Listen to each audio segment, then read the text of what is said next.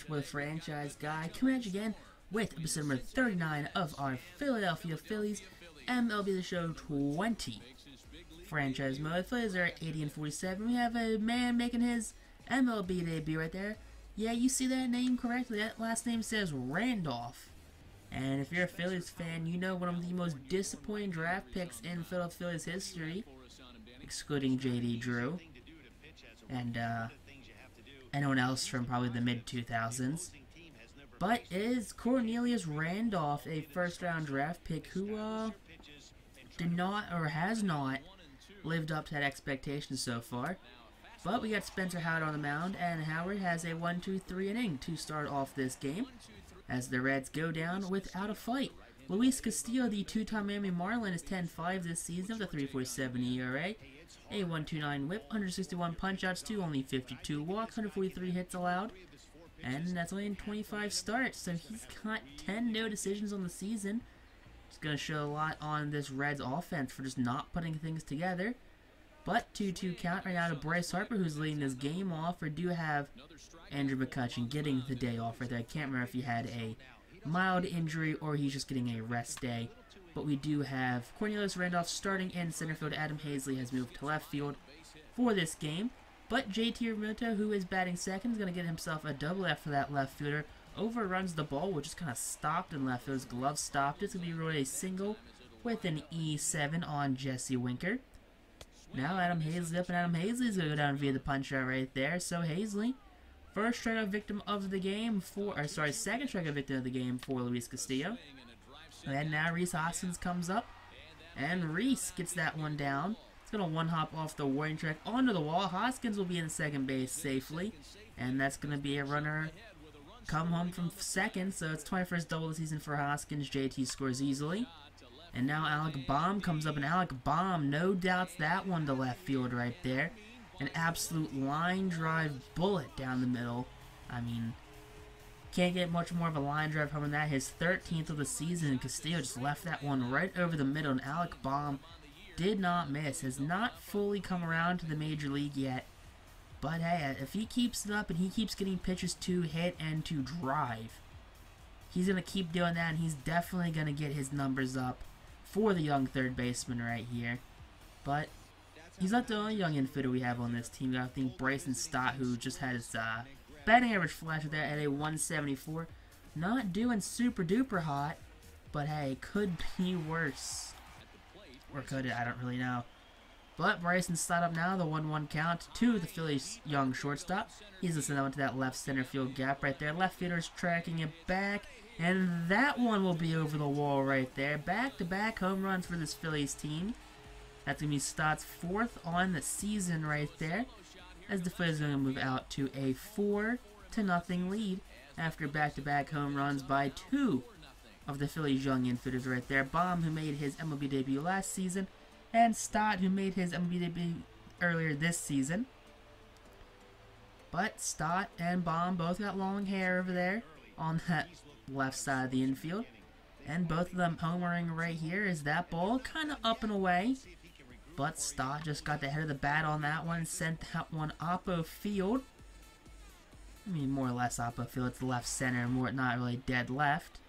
But now Scotty K comes up. Can we go back to back to back? And no, Scott Kingery goes down to be the punch up to end this inning. Luis Castillo does allow four runs this inning. So not great for Castillo. Howard up now, and he's going to get the first batter of the inning go down via the punch out. No swing. Howard's second strikeout of the game. Now Mike Moustakas comes up. Moose goes down via the punch out. Howard challenged him. Big fastball on the middle and blew it right past Moose. Cornelius Randolph up for his first major league at bat and taking on the 1-2 count. Gonna go down via the punch out. His first at bat is gonna be a strikeout. So disappointing start to this game off definitely for Cornelius Randolph. And Harper also goes down via the punch out. So two punch outs sitting for Luis Castillo. As Castillo showing you, he is dominating after that rough first inning. 3-2 count now, and Bohm gonna get robbed of a strikeout. I'm sorry, Spencer Howard gonna get robbed of a strikeout right there. I mean, that was a uh, Barnhart had just, you know had a pitch just rifled down the outside portion of that plate, inside and everything. But hanging ball right there. Gets Castillo strikeout right there. So he originally had a bun on, but he bunted it foul to give him two strikes, so he just was forced to swing. And now, first walk issued of the game. It's going to be JT Realmuto, as he's going to be Castillo's first walk. Going to bring that pitch cut up eventually at some point. Get him over 40 pitches finally.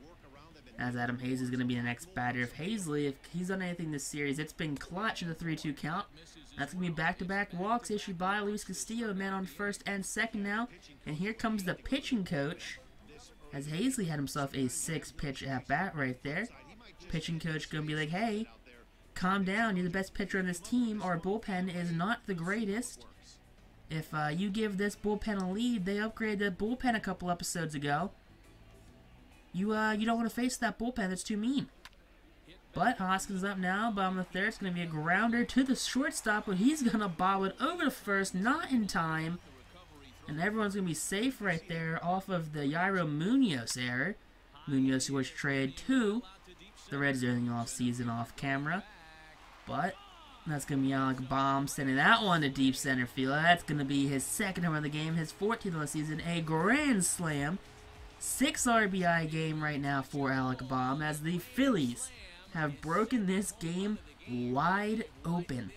An 8 to nothing lead now for Philadelphia as everyone there crowds around home plate, not social distancing because they're too pumped for their stud third baseman, who's the, probably the best stud third baseman they've had since Scott Rolen. Maybe Chase Utley, he played a little bit of third base with Philadelphia. I don't know if he did it all. I know he played some first base. But Alec Bohm sent down to the center fielder right there. Center fielder did not even try for it. It was over the over the batter's eye. And now the manager, after he came out and talked to Luis Castillo after issuing two walks this inning, has come out again. And David Bella said, hey, that's enough out of you. You're done. You're trash. Get out of here. Gonna go to this god-awful bullpen that we did not want to go to. But Castillo's day is done, and in will come Robert Stephenson, the one-time starter in 75 games. It's 8 and 2. 9 holds, 70 innings pitch, a 3.89 ERA, 77 punch-outs, to 24 walks, 269 versus righties, and 250 flat versus lefties. So overall, not a bad season for Stephenson. But Scotty Kingery comes up, and Kingery gonna get himself a perfect, perfect single left field right there. It's gonna be first hit issued or allowed by Stephenson this game, as he comes in in only the third inning. And now Spencer Howard up, and Howard go down via the punch out, first punch out of the game for Robert. Nicholas Nicola Nick Castellanos comes up. Jeez, he has a hard name to say. Goes down via the punch out. And now back to the Phillies as Bryce Harper. Gonna draw himself a walk right here. Another walk issued by this Reds pitching staff. First of the game issued by Stephenson. As that's now three walks in the past two innings for the Phillies. As uh, you just gotta run a pitch come up every once in a while. Every time you have a pitcher needs to not get in the groove, all you gotta do is just get a walk. But 2-1 count the JT, and JT sends that one to deep left field. That was going to be off the top of the wall there. Everyone's holding up, seeing if it was going to clear the wall or not. JT's going to stay at second. Harper will stay at third right there. It's going to be his 24th double on the season. Adam Haseley up now, and Haseley chops that one to the second baseman, but the runner from third base will score. JT will go over to third. So it's going to be a sacrifice ground out to the second baseman. And now Hoskins goes down looking via the uh, punch out right there. Fastball just up and outside, but Hoskins did not swing in it.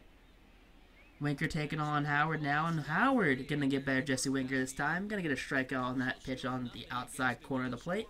Six punch out of the game right there. See Team ERA leader is gonna see the Phillies rank third place behind the Dodgers.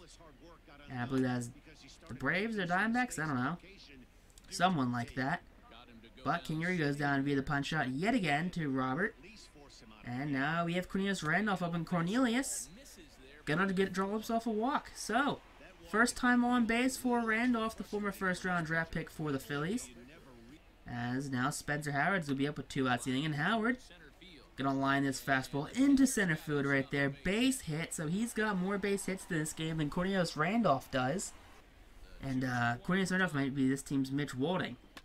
Top of the sixth, here we go. Line ball, line drive to Alec Bohm. Bohm lays out for it, but could not get to it. Tries to rush the throw over to first base instead of just eating it, and it's going to be an error. It's going to put the ball into the stands. But Howard bounces back after that, gets the big punch right there, his seventh of the game so far. Now 2-2 pitch to Shogo. Uh, yeah, Shogo. How say his last name. And it's going to be a pretty good throw by Adam Haseley. But the runner will score from second base right there. And now 3-1 count. Guess what? Howard going to issue a walk right here. That time it definitely was on Howard's fault, not the umpire, just, you know, not giving him the right pitch.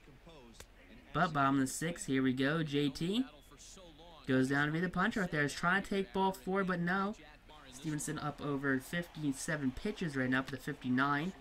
And that 60th pitch does not fare well for Robert Stephenson. That's going to be an Adam Haseley, no doubt, home run to deep right field. Haseley, his 16th of the season. Haseley spent some time on the IL this season earlier on. But right now, hey, Adam Haseley showing he is in mid-season form and he is ready for the postseason, which will be coming up in the next couple of episodes. As this Phillies team sitting at already 80 wins, will most likely secure the National League East in back-to-back -back seasons. This offense and pitching staff, for the most part, is clicking on full cylinders right now, coming out of the All-Star game. And it's going to replay that home right there. Just look at that curve, that path it takes. It's going to be a second deck to, it's a first or the second deck right there. As Big Rhys Hoskins comes up and Hoskins sends that one to deep left field. It's going to be back-to-back -back home runs for the Phillies yet again this game as Hoskins and Haseley go back-to-back. -back. It's going to be the 30th on the season for Rhys Hoskins, who has slowed down a little bit in his home run production. Last year, he was definitely at that 40 home run mark around this time. But only at 30 right now. Nothing to complain about. But just wish we had a little more pop out of our first baseman. But then again, you can't complain about having a player who's just going to mash 30 home runs, get 100 RBIs out of you, and play some pretty decent first base either. I mean, Ryan Howard did that, and he played pretty poor first base. He was not a great defender whatsoever. More or less a DH in the National League, honestly. But after that home run, Raisel Iglesias would come in. Uh, Iglesias in 58 games is 2 and 3 with 19 holds, 47 innings pitched, a 6.27 ERA, 55 punch outs to 29 walks. Lefties and righties both having field days, both batting over 300 against the one-time dominant closer. Now Bryson Stott, the 3-1 count. Stott gonna get that one to ground second baseman. Second baseman can't field that great, as that's gonna be a ruled a base hit for Stott, uh, Bryson Stott as he now has two hits in the game as he's slugging the average up to that 200 mark. And 3-1 count. Scott Kingery's going to hold up right there. So Iglesias comes in, instantly gives up a single and a walk. As Scott Kingery's magic bat is going to still be in his hand. Now Joey Votto taking on Spencer Howard. And Votto going to show his prowess right there at the plate as he's going to be drawing a walk right there. As Howard is approaching that 100 pitch mark so far in the seventh inning. 101st pitch will be sent to deep right field. Bryce Harper's giving chase. He's going to play it off the wall. It's going to one hop right into his chest. Gets it quickly into the second base right there. And now we have a pinch hitter for the Reds. That's going to be Estradis Aquino coming in. The young, I guess he's 25, 24. Young outfielder right here. who did break Rhys Hoskins' home run record for home runs in a certain amount of time or quickest home runs. To have Haseley jump for it. Haseley can't get it to be the third baseman. That Alec Bohm all the way up there in left field? Gonna pick that ball up as he's gonna throw a pretty poor ball to catcher JT Realmuto. But bases juice now for Howard, and Howard gets the puncher right there on the full count. So Howard showing dominance right now, his eighth punch out of the game so far as he gets out of that inning. And Pedro Strop, the former Cub, comes in. In 81 games, he's got a 4.62 ERA, 65 punch outs to 42 walks. 2 and 2, 15 holds, and he's doing eh, not great. Daniel Palka pinch hitting for the Phillies. He's got 7 home runs and 13 RBIs. I believe the majority of those home runs are from that pinch hit slot. But the 2-2 count will go down via the punch out for Palka as he could not catch up with that cutter. It's going to be first strikeout of the game for Pedro Strop. And now Bryce Harper also goes down via the punch out right here. So back-to-back -back punch outs for Strop. As he showed that ERA does not mean much.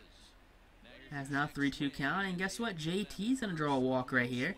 So holding up on that pitch is a little up, little outside. And that magic bat's back again as he tossed it, but stayed to his hand. And now Adam Haseley comes up. He's going to flare that one to right field. It's going to drop in front of the right fielder. JT's going to third. He's going to slide in safely. So runners on the corners now. Two outs for Rhys Hoskins and Hoskins. Draws himself a walk. Bases are loaded. As Strop is now over 20 pitches, has only faced three batters, and is over 20 pitches thrown right now. And he gets out of inning, unfortunately, though. Nick Anderson comes in, the former Rays All-Star. In 43 games, he's 2-1, 28 saves, 243 ERA, 40 innings pitched, 55 punch-outs, 13 walks. And he's going to come up here and get the first batter he sees to go down via the punch-out right here. Eugenio Suarez comes up, and it, there you go. It's going to be a walk issued by Anderson. He doesn't issue a lot of walks, but he does sometimes issue them. But Nick Anderson just has to come down, bear down now, get Jesse Winker out, get those bottom two, get those fifth and sixth hitters out. Get out of this inning easily, but 3-1 count now to Winker. Winker gonna line that one to left field right there. And that's gonna be a single issued right after that walk. So two men on now, one out as Joey Votto comes up and Votto gonna send this one to center field right there. Haseley comes up firing. And that's gonna be up the line a little bit, but JT does corral it. Bases juice now with two outs. And there you go. Punch out for Nick Anderson. As he gets number 16, Tucker Barnhart to strike out to end the inning. With the Reds threatening to score some runs in the top of the eighth inning.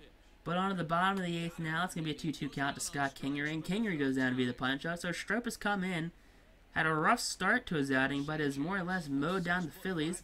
As Christopher Sanchez now makes an appearance for the Phillies in 28 games, he's 3 and 1. One for two in saves, their innings pitched. He's having a pretty decent season for the rookie. But with two outs inning, well, one on the inning, Sanchez will get the strikeout right here. His first punch out of the game. And now full count to Yairo Munoz. And Munoz chopper to first base from Rhys Hoskins. Hoskins gets it, runs the first, steps on first for the final out right there. As the former Philly, Yairo Munoz grounds out to current Phillies first baseman Rhys Hoskins to end the game as the Phillies do end up winning 11 to 1 right there. Cornelius Randolph was more or less non existent in his major league debut. He played left, not center field. I made that mistake earlier saying that in the game. But Andrew McCutchen should be back by next episode, I believe, if he was hurt. If not, he should be back tomorrow.